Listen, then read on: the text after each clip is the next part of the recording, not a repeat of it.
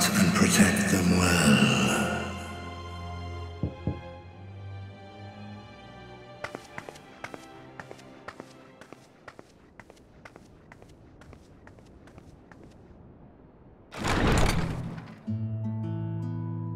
Good, you're here. You haven't eaten yet, have you? We've bought quite a spread if you're interested. Only the finest dining from the last stand.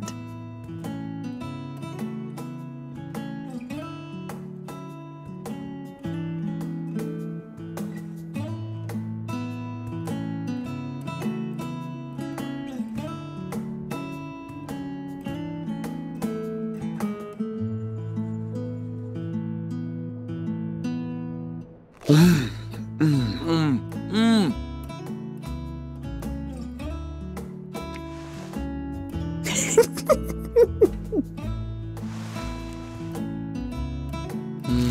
Mm.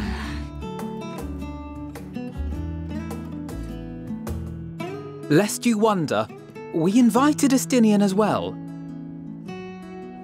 But he refused with a rather grim-faced, no thank you. I suspect Sharlayan cuisine is not to his liking. Oh, I don't know about that. Perhaps our lone wolf just needed some time apart. What? To perfect his brooding stare? Next time, I'll drag him out by the ear, sit him down in front of a Sharlayan feast, and see that he eats every last bite. An excellent idea. Of all people, warriors must take proper meals and rest if they are to maintain a healthy constitution. Poor Estinian, beset on all sides.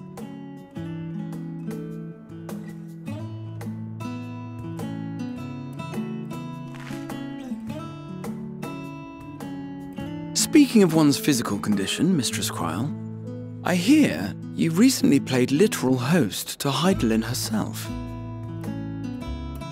Ah, and what an experience that was. Tiring, yes, but no lasting harm done. if anything, I should have liked to speak with her longer.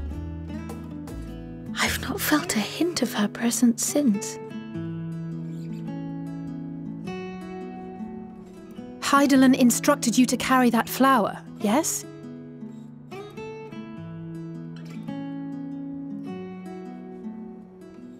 Twill be your guide, test and proof of your conviction. And then something about seeking joy in darkness, was it? Come to think of it, isn't that what happened with Nidana back in Radz-at-Han? Hmm. The flower did seem to radiate a joyful glow, as if reflecting the elation we all felt, the relief of a people with renewed hope. Indeed. And in turn, I felt buoyed by that radiance. 'Twas akin to spotting a beacon and knowing we were on the right path. I know we've not yet triumphed over the Telophoroi, or learned the full breadth of the Forum's plans. But even within the midst of our struggles, we find small moments of joy to sustain us. Rare and hard won, perhaps, but it is this pursuit of happiness that gives us the strength to carry on day after day.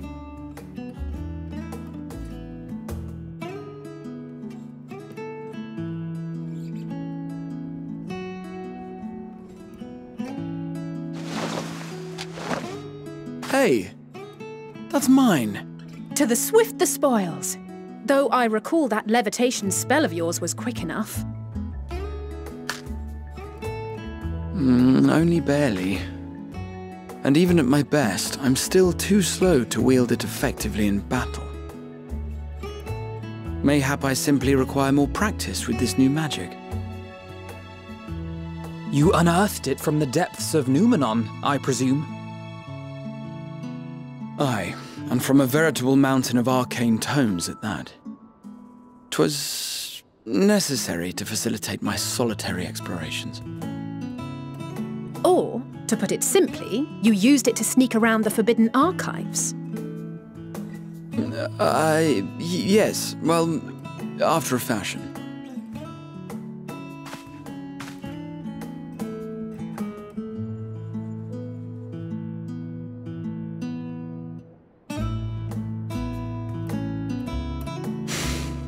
Tall, you see. The shelves, they're too tall for me. And I could hardly move the library's platforms without attracting attention now, could I?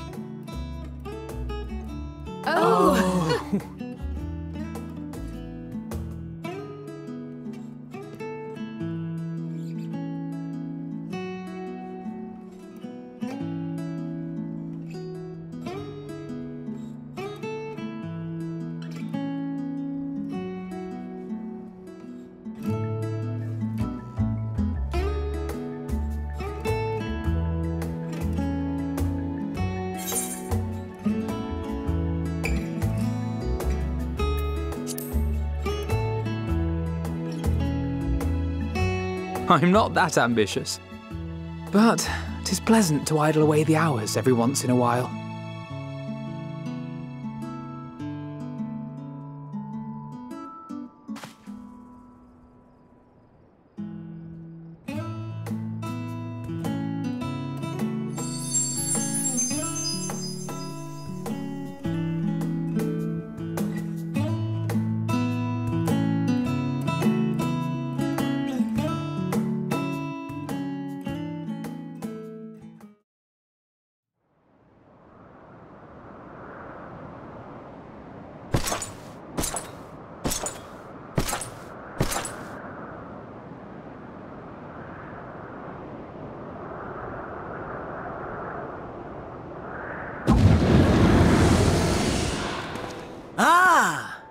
Enjoying the bracing cold, I see.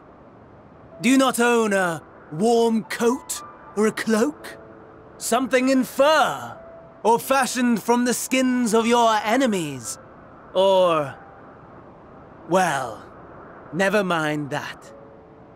I come to you once more as the bearer of bad news. Our tower in Thavnair has been toppled, and I need not tell you by whom. Given how many we have at our disposal, the loss of a single spire is hardly fatal to our plans. It does, however, slow the rate at which we siphon the ether. If they continue to preoccupy themselves with the towers, then all will be well. But should our foe prove bold enough to strike at us here, then the timing becomes questionable.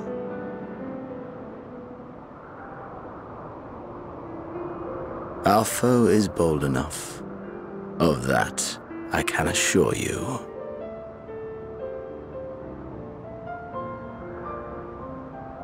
Ah, yes, very well then. I suppose I must prepare a proper welcome. Honestly, talk of your nemesis is the only thing you seem to enjoy. Does nothing else spark your interest? Hmm. No. All else is... equal. Equally tedious. Equally disappointing.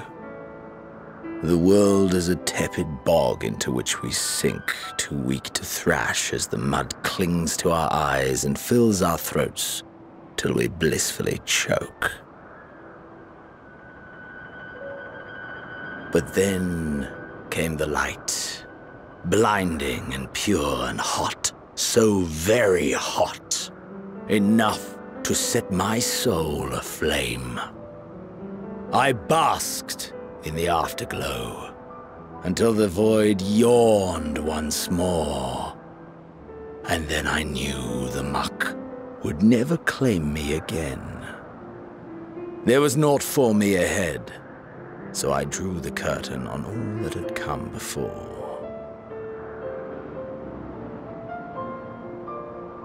Burn, burn, Let the whole star burn. I will have my contest. I will reclaim my moment.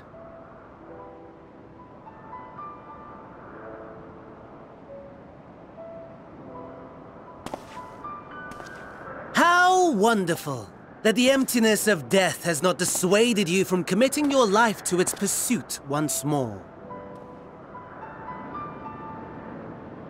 I don't know whether to envy you or pity you.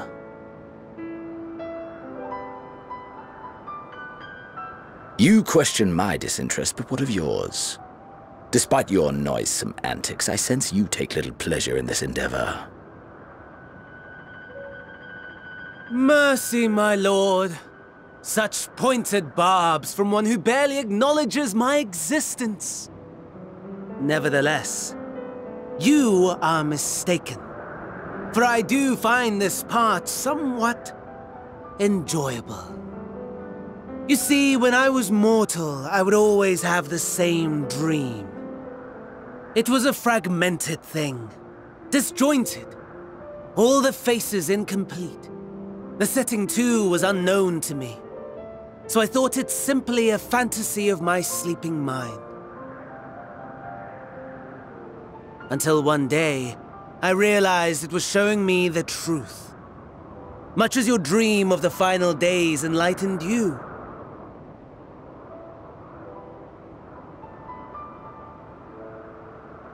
And soon, very soon, the rest of the world will see the truth of my dream, too.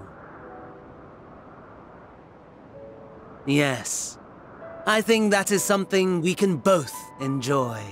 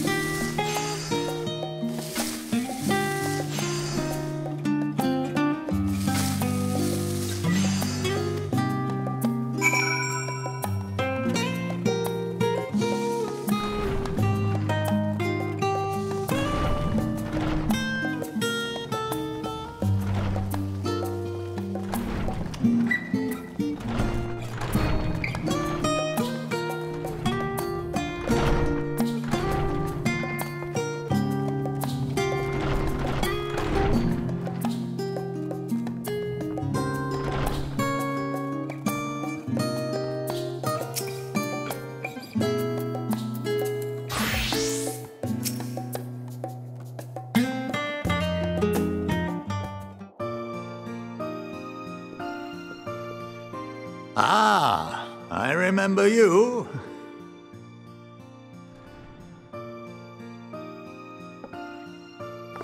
I pray we have not caught you at an inopportune moment.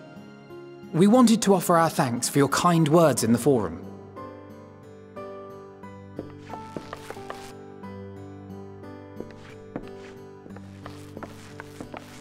Well, I could hardly let that Inquisition go unchallenged. I've always believed that curiosity should be nurtured, not stifled. Thankfully, a majority of my colleagues agreed. A slender majority, aye, but a majority nonetheless. Had the vote not gone our way, we would be having a very different conversation, if any at all. Though I'd like to think you would have not given up on our cause. I'm told you paid a visit to the Annex afterwards. Yes, that's right. I was hoping to speak with the grandchildren of my dearly departed friends Galuf and Louisoix in a less dour setting. But it seems I just missed you.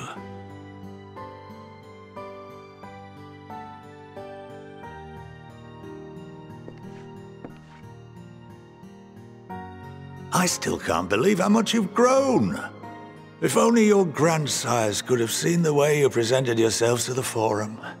Why, it fair brought a tear to my own eye.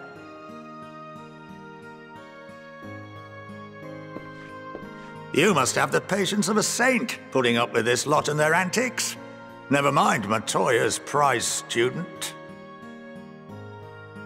Luckily, I know a thing or two about managing unruly younglings. If you ever need advice, don't hesitate to ask.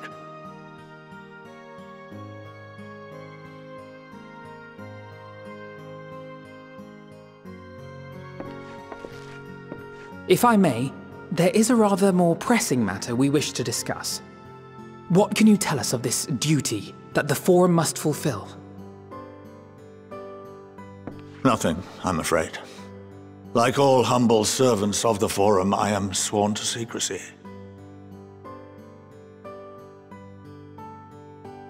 Or rather, I couldn't tell you if I tried. Our duty is of the gravest importance.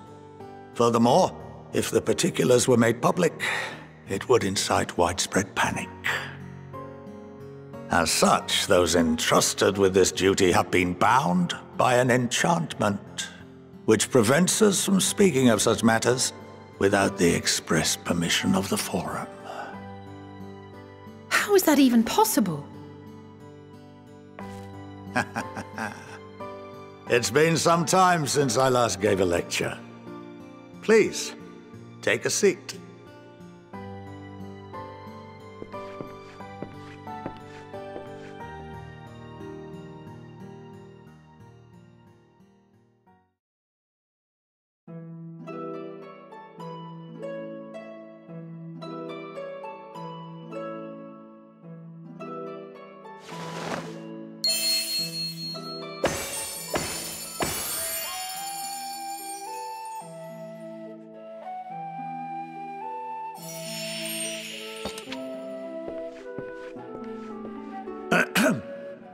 We shall begin by reviewing the fundamentals of etherology.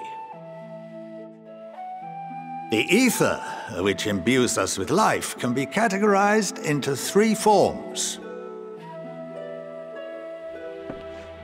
Two are of the incorporeal sort, the soul, and the memory. Can anyone tell me the third?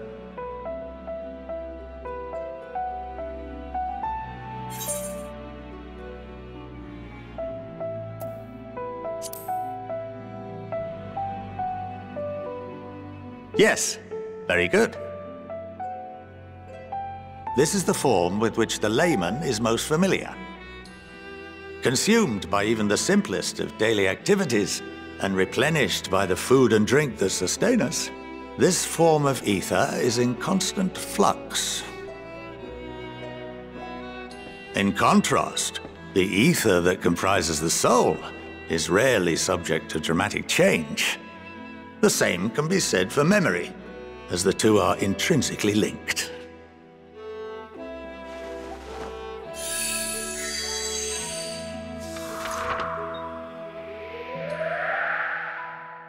Picture the soul as paper, and memories as words written upon it. Now, what would happen if that paper was doused with ink? The same type of ether as comprises the memories.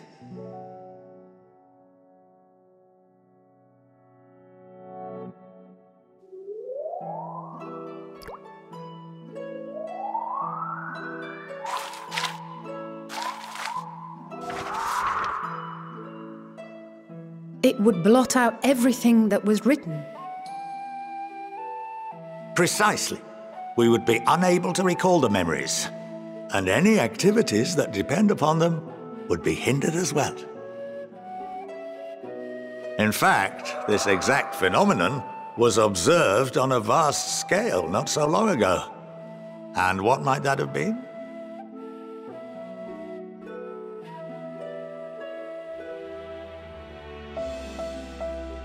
The seventh Umbral Calamity. The people of Eorzea vividly recall Bahamut breaking free of the Lesser Moon and raining hellfire down upon the realm. But no one could seem to remember the events that followed immediately afterwards. Indeed.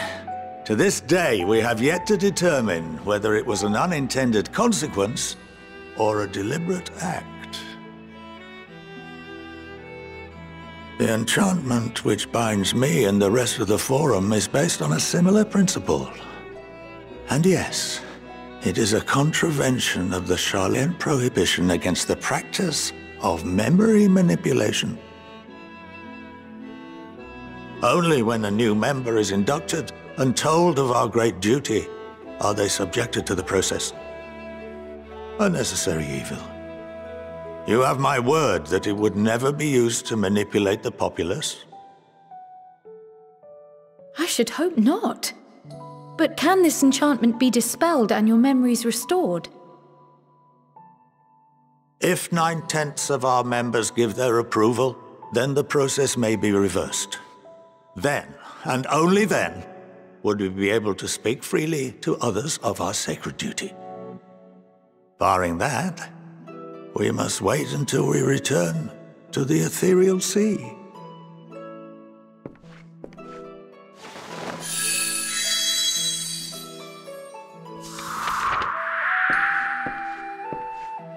For there we will be purified, the blots upon our souls washed clean.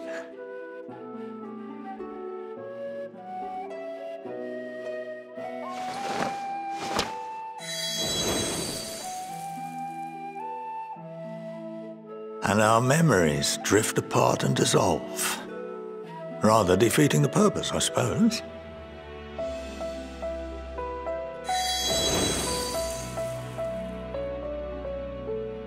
But there are those memories that are indelibly etched upon our souls, some believe.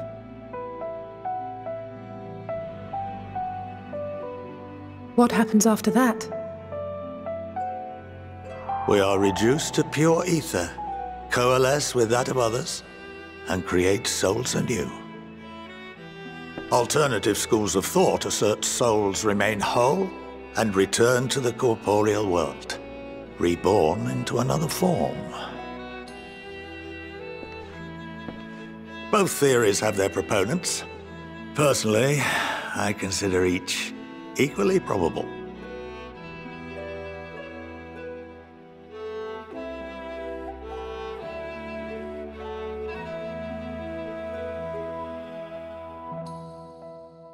Well, I think that's enough education for today, now that I've given you some food for thought.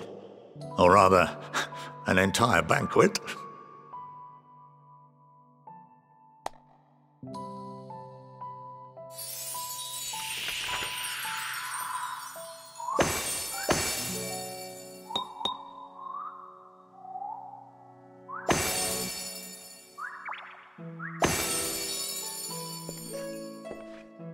I would remind you that although I'm unable to assist you with certain matters, the resources at my disposal may still be of use to you. I'll arrange for you all to be given the run of Noumenon. Of course, as associate to our alumni and the students of Baldesion, this privilege is extended to you as well, my friend. Oh, and I suggest you speak with Ki Aliapo. She's well known among the artisans of Sharlayan, and her network of contacts may prove useful in your search for knowledge. I wish you all the best in your pursuits, wheresoever they may take you.